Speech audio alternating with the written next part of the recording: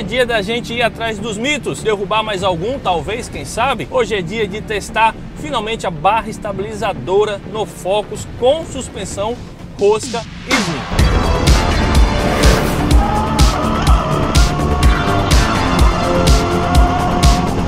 Você que está chegando agora já vai se inscrevendo, ativando o sininho das notificações, curtindo, compartilhando esse vídeo, fazendo aquela força.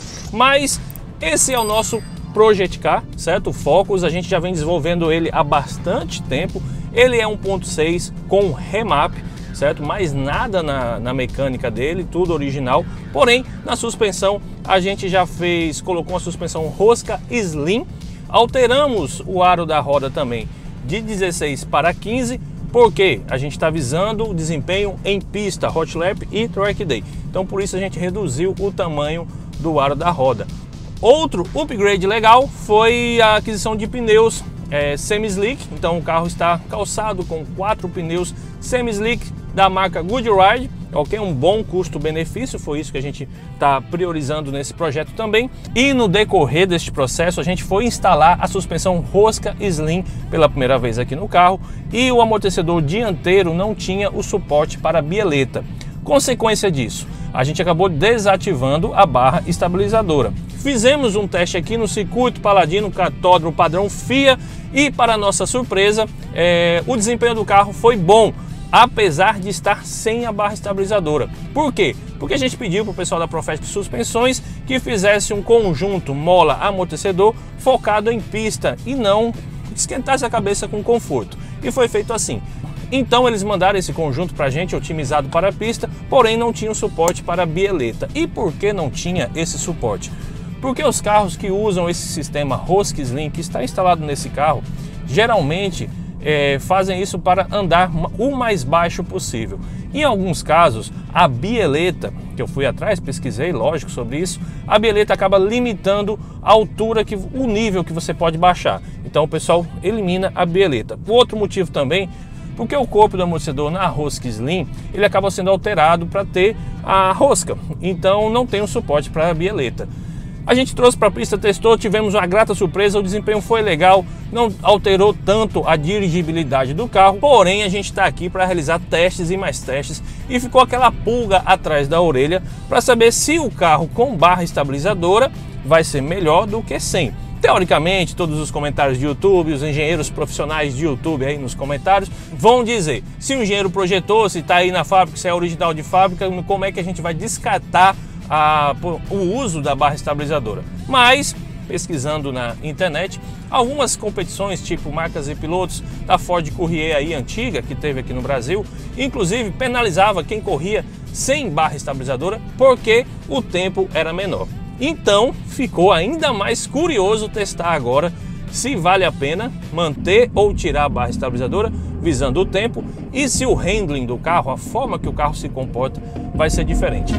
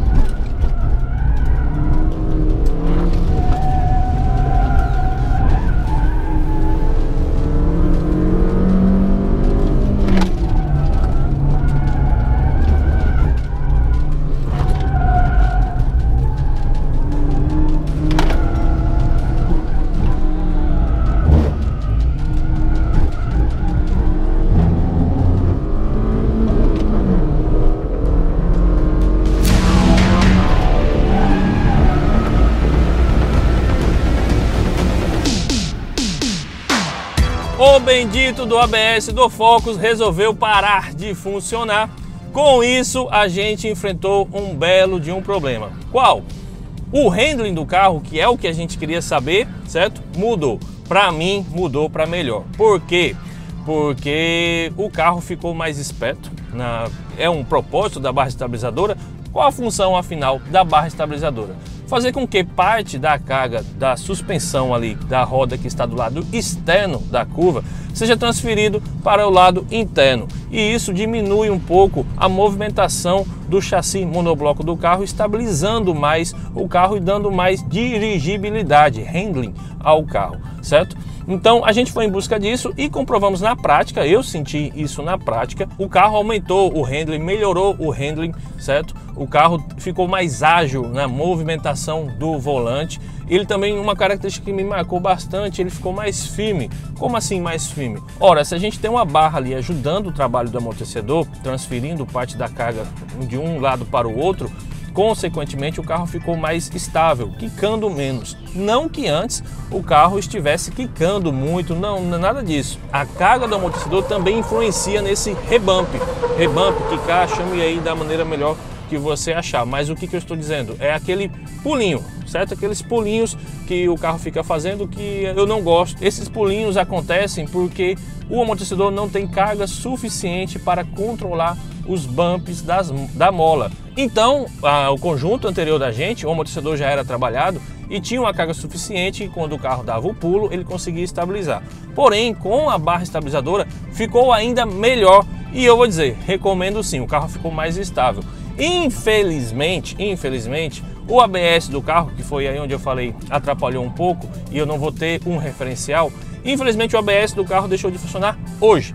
Com isso, é, a freada inicial de curva eu tive que suavizar. Se eu der o pé com toda a força, igual eu fazia com o ABS ativado, simplesmente o carro vai travar as rodas e vai, vai em linha reta. Então eu tive que um, diminuir a intensidade dessa carga inicial na frenagem, na entrada da curva e trabalhar o pé do freio, porque toda vez que o carro travava a roda, o papel do ABS quem estava fazendo era eu aqui no pé. Por mais que eu seja eficiente, por mais que eu tenha domínio, por mais que eu tenha o um controle aqui, nunca vai ser tão eficiente quanto o sistema de ABS. E a gente acabou fazendo mais uma prova aí se o ABS funciona ou não.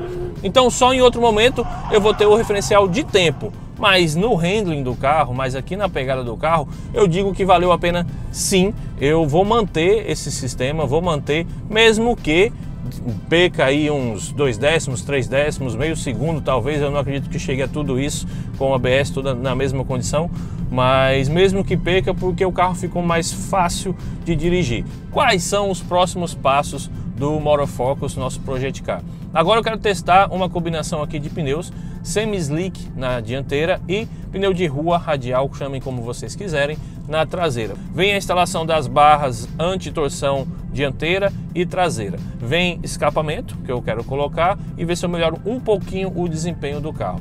No mais, é isso por hora, por hora. Depois a gente vai analisando e estudando aí o que vai dar para fazer e trazer o conteúdo para vocês. Agradeço a todo mundo que está acompanhando essa saga da gente de melhorar e evoluir o Focus. Também peço que se inscreva no canal, ative o sininho das notificações, compartilhe com um amigo. E é isso. Valeu a você que acompanhou até aqui e um forte abraço. Fui!